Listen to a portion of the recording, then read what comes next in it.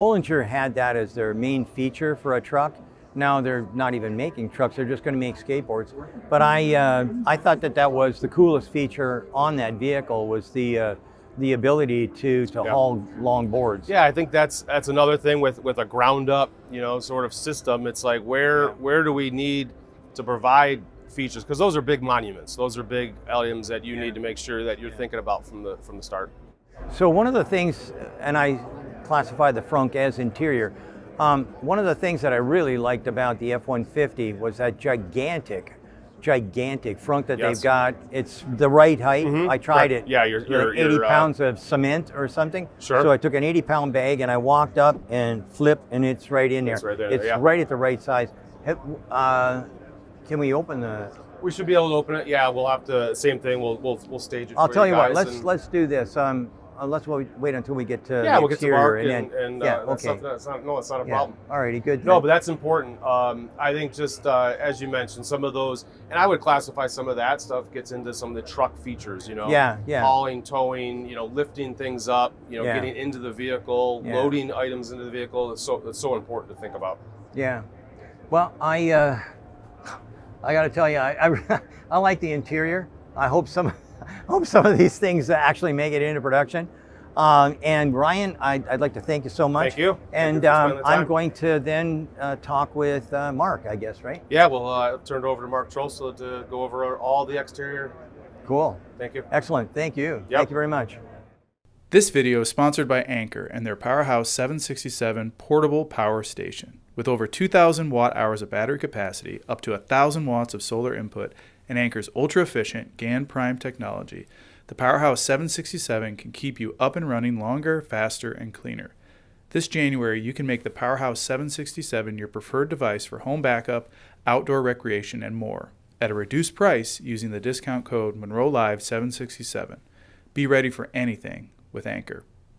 Okay, we're here with Mark. Mark is going to tell us a little bit about the outside styling, uh, and we only got a couple of minutes, so we're going to go really fast. so I will tell you what I do like. I absolutely love the opera doors, and I really hope that somehow you're going to be able to make that work. So that's one of the things I like. Here's the thing I don't like. Why aren't you getting after NHTSA and telling them get rid of these damn things? This is the worst, the worst thing on a vehicle now. Now that we've got cameras, what in the hell are they thinking in Washington? this is like stupid. Just get rid of them. Anyhow, that, I've got. Now I will now get off my. How uh, do you feel? my- Yeah. yeah, exactly, exactly. So why don't you give us uh, the lowdown on the styling? Because Sure, I really, sure. Yeah, it's, we're- uh, we're it's really, really- a departure from Yeah, what the absolutely. Ram looks and, like now. and that's what you know has been great about the new platform um, for us as designers to you know have the opportunity to create something new for the Ram brand.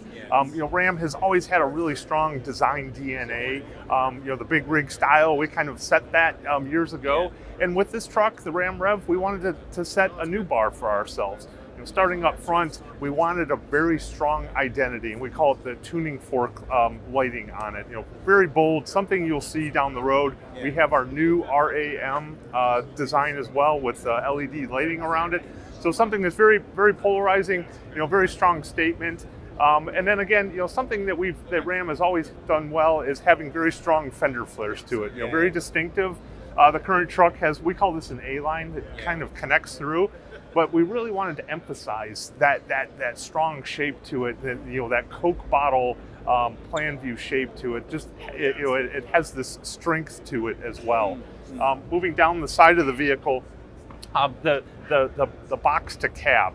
You know we really wanted to make this a design element. To us this element you know whether our customers really understand you know why a box and a cab are separated we wanted to make this as a de- design element and make it something that people will recognize in the truck.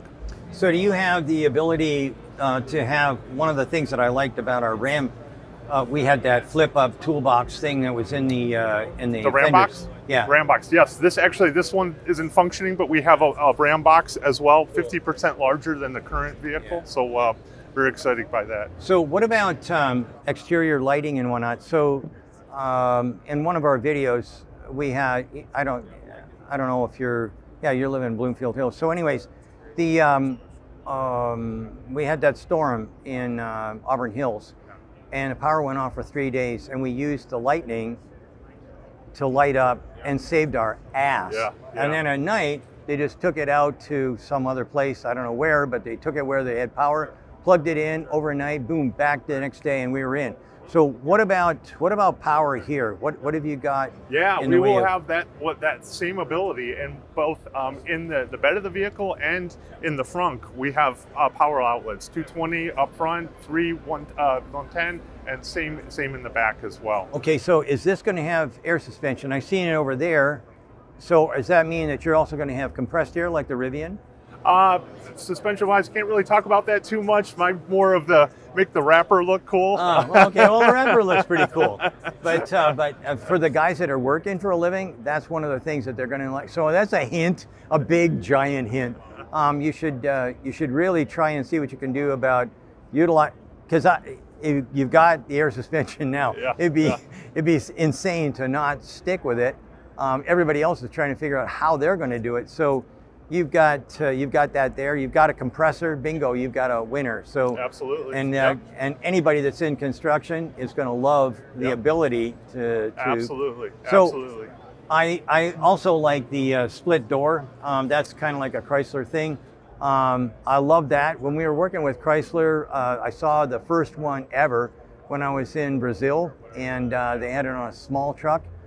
I don't know why that didn't get brought up, but I'm telling you that that would my wife would have died to get one of the, those. the multifunction tailgate Yeah, we call yeah, it and this yeah. actually um, dumps con- you know folds down conventionally yeah. plus has a 50-50 split Right, on it as well so really yeah something give our customers uh, that option as you mentioned to utilize it in different ways and that way you can put in that 24. I mean, the 18 foot board, great, but yeah then you but can get come even in longer 20 with the doors Yeah. that, that One, pop up All I need is Yep. is half of it. Yeah. Yep. So um, um, I know we're probably over, and I don't want to take that guy on. He's too big. So uh, so what what else can can we uh, can we talk about um, that uh, that that you're proud of on this? Yeah, we've we've um, you know we've got our, our lit RAM Yeah. on the on the door. Um, you know, just again, you know, really accentuating you know the shape of the vehicle. Yeah. Our, our integrated uh, running Yeah. board, when you pull the doors open, it, it drops down to really help the, the ease of, of ingress and egress on it.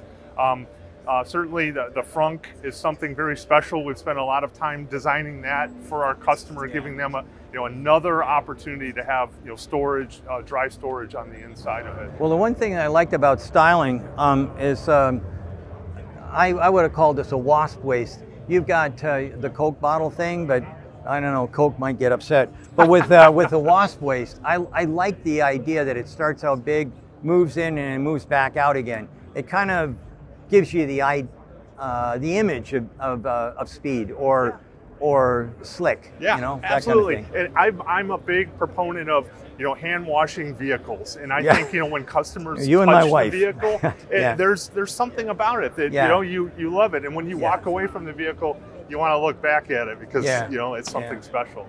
Well, cool. Anyway, so uh, again, thanks very much, Mark. My pleasure. It's Great very, talking very, to you. Yeah, it was great to see your, your product.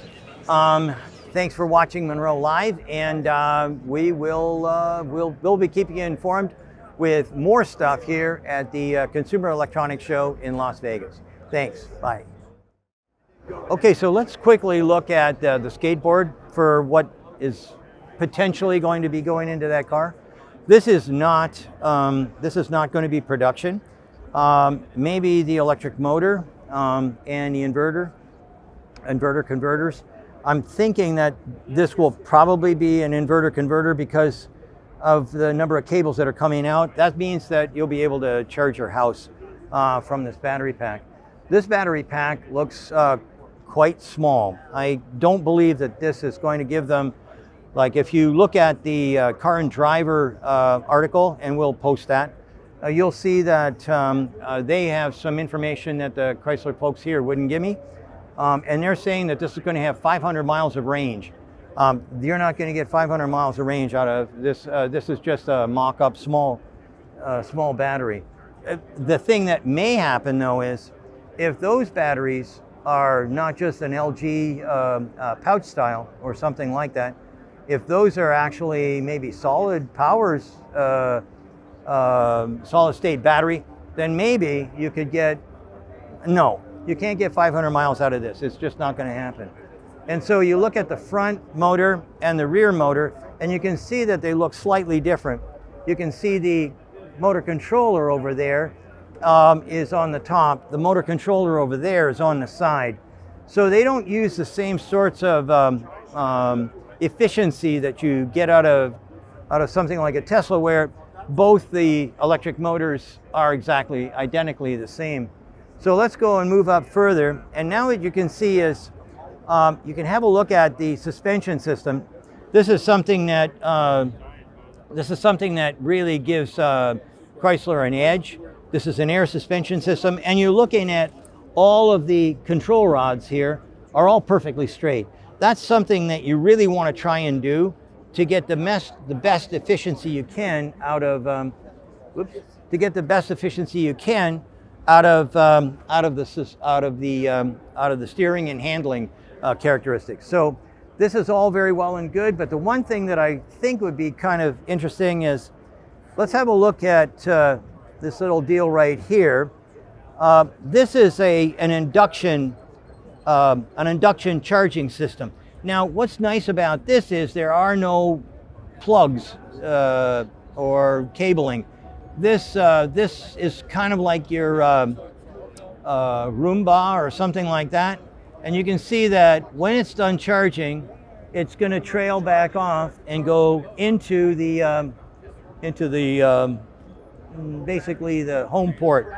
So this could eliminate some of the problems that we'd had in the past with um, people charging and not liking the cables or actually the manipulation of cables are just absolutely stunning. Uh, uh, my wife Susan absolutely hates all the conventional cables. The only one she likes is, is Tesla's uh, because the other ones are all bulky and horrible. This might be a way of making things happen in a better route. Now this one here moves in and out, but in the future you might just pull into a slot and um, and it takes over lickety split because you're driving right over the top of the induction pad. So anyway, thanks very much for watching. Um, thanks uh, to uh, the folks at um, Stellantis and the Ram Group for um, helping us out a little bit, giving us some some time with this truck, and uh, we'll be on our way. Thank you so much. Bye.